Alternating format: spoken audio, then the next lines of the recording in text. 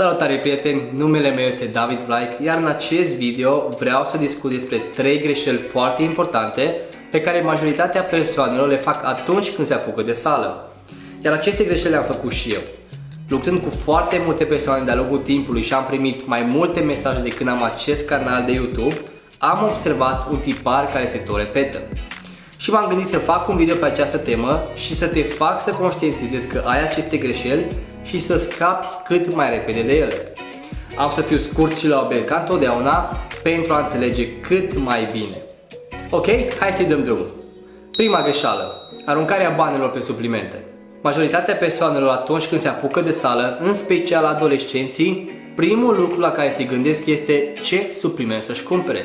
Și am primit o grămadă de mesaje cu ce proteină să cumpăr pentru a crește masă musculară, sau ce supliment să cumpăr pentru a scădea în greutate și așa mai departe. Ei cred că este ceva magic în acele suplimente. Și nu este vina lor, pentru că această industrie a suplimentelor investește milioane de dolari pe an pe marketing și plătește tot felul de influenceri care să promoveze acel produs cum că ar fi ceva magic și datorită acelui produs ei arată așa. Dar sfatul meu este ca primul lucru pe care trebuie să-l faci este să te educi și să te informezi. Trebuie să înveți despre nutriție, despre ce anume are nevoie corpul tău și să înveți să-ți faci singur un plan alimentar durabil care să-ți placă și să poți să-l ții pe termen lung. După ce ai învățat acest lucru, poți să te gândești și la suplimente, dar doar după ce știi deja ce anume trebuie să mănânci și ce rol are fiecare aliment.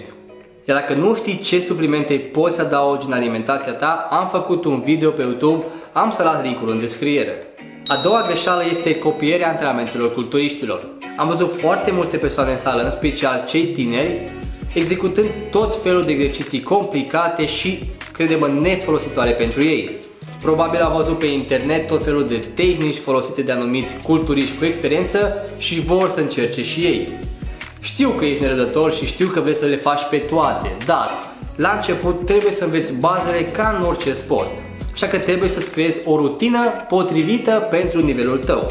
Iar dacă ești începător, o rutină foarte bună pentru tine ar fi full body de 3 ori pe săptămână executând exerciții de bază și să înveți să execuți fiecare exercițiu corect. Este foarte important ca aceste exerciții să-ți intre subconștient. Odată ce știi bazele, poți să execuți orice alt tip de exercițiu și poți să folosești ce tehnică dorești.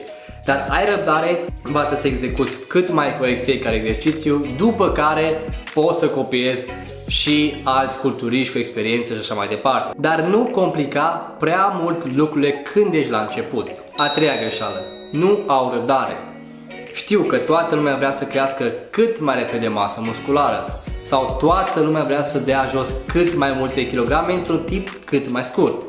Dar nu aceasta este calea. În ziua de azi toată lumea caută o scurtătură, ceva magic, o suplime minune care se aducă în punctul dorit cât mai repede posibil. Iar multe persoane din această industrie speculează acest lucru și profită de aceste persoane. Probabil ai văzut și tu o grămadă de clipuri pe YouTube, Instagram despre cum să ai abdomen în două săptămâni, cum să sărbești 10 kg într-o săptămână și așa mai departe. Acestea sunt doar prostii. Nu se poate acest lucru. Și crede-mă, dacă ar fi o scurtătură, toți în această industrie ar folosi-o. Dar acele persoane arată bine pentru că au ani întregi de muncă în sală și alimentație corectă. Așa că nu te gândi că un anumit produs te va ajuta să ajungi în punctul dorit cât mai repede. Și nu avea pretenția că vei arăta în 6 luni, un an ca ce de pe copertă, pentru că vei fi dezamăgit. Din păcate, toți vor să arate bine, dar cât mai repede posibil. Foarte mulți îmi spun asta, în cât timp pot să arăt așa, în cât timp pot să arăt așa, depinde de fiecare, nu pot să spun un anumit timp. Dar îți trebuie ani, trebuie să fii consistent, acest sport este un maraton și nu este un sprint. Așa că cu cât faci mai mult timp, cu atât mai bine. Sper că te-am făcut să conștientizezi aceste greșeli și ți-ai dat seama că probabil le faci și tu și să încerci să scapi de ele. Sper că te-am ajutat. Iar dacă ai întrebări, nu ezita să lași un comentariu. Iar dacă ți-a plăcut, nu uita să dai un like și să te abonezi la canal pentru că am pregătit clipuri interesante pe viitor. Numai bine!